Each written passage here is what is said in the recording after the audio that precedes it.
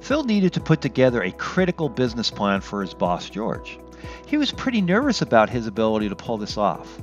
Dan from the solutions team just installed a new PDF editor on his desktop. He was hoping Foxit Phantom PDF can help him succeed at this difficult project. His first step was to get information from Nicole from the accounting department. He talked with Nicole, who sent him the required financial data in a Microsoft Excel spreadsheet. As he was moving the file on his desktop, he accidentally dragged and dropped it on top of Phantom PDF. To his surprise, Phantom PDF converted the Excel document to PDF. Well, he thought, maybe this Phantom PDF software can help me after all.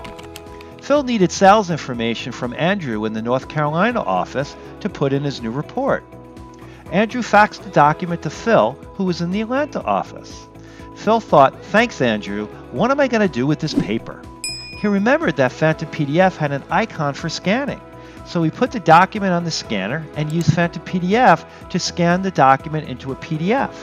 He received a warning from his computer that it was running out of disk space, and remembered that files containing scanned images were quite large.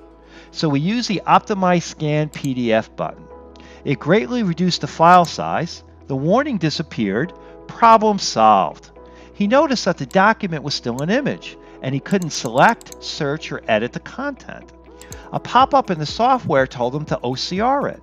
He didn't know what that was, but tried it anyway.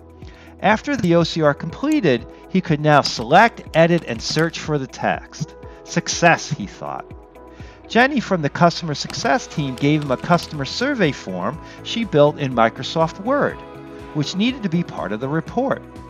He remembered that PDF forms were popular so we dragged and dropped the form on Phantom PDF. Now we had a PDF form. The form looked good, but he couldn't fill it out. He saw a button in Phantom PDF called Run Form Field Recognition. He wasn't sure what that was either, but based on previous success, he decided to try it out anyway. Suddenly, form fields appeared on the form. He could now fill it out. Wow, Phantom PDF has been a big help. Phil had three different PDF files that he needed to combine and reorder.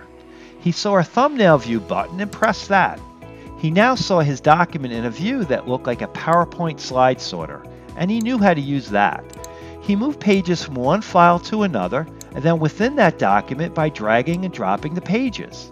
He then added a header, page numbers in the footer, and the company logo in the corner of every page.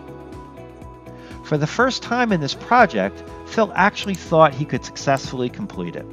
He had to send the document out for review before he gave it to George. He put a watermark on the document saying draft. Used Phantom PDF to put it on his cloud storage account, then send a link out of the document to his colleagues. Dan from Solution also installed Phantom PDF on his colleague's laptop using something he called the admin console. Phil's colleagues used the comments feature in Phantom PDF to provide feedback. Phil was distressed when he received the feedback. He saw that he had to modify content and change some of the formatting by moving text and images around. Could this new software do that? Well, Phil thought, Phantom PDF has been a pleasant surprise so far. Let's see what else it can do. He had text in three columns that he had to modify. He used Phantom PDF to link the columns together, and magically the text reflowed across the columns as he modified it. He was able to change font styles, font size, make things bold. He thought this is just like a word processor. He then tried to drag and drop a text paragraph to a new location on the page. It can't be that easy, he thought. It worked. It was that easy, he yelled. He moved text, objects, and images around with ease. The document was now complete. Or was it? Phil just received an email from Dee Dee, the compliance manager. She said that company policy is that all documents needed to be accessible, meaning it had to be able to be consumed by people with disabilities. Phil viewed the accessibility tutorial videos and tried using Phantom PDF's accessibility tools. He sent the file off to Dee Dee and was happily surprised when she replied that the document successfully completed testing. Now the report was perfect. Phil needed to provide two copies of the report. Since the document contained confidential information, he needed to protect one copy. Can Phantom PDF do this as well, he thought? He used password protection to allow only those people with the password, his boss George, the company's founder Eugene, and himself, to open the file. He also used it to ensure that no changes can be made to the document except himself. The second copy was not to be protected, but he had to hide some confidential information. He used Phantom PDF's redaction feature to securely obscure sensitive information so everyone could read the rest of the document. Is there anything the Phantom PDF software can't do? He asked cheerfully.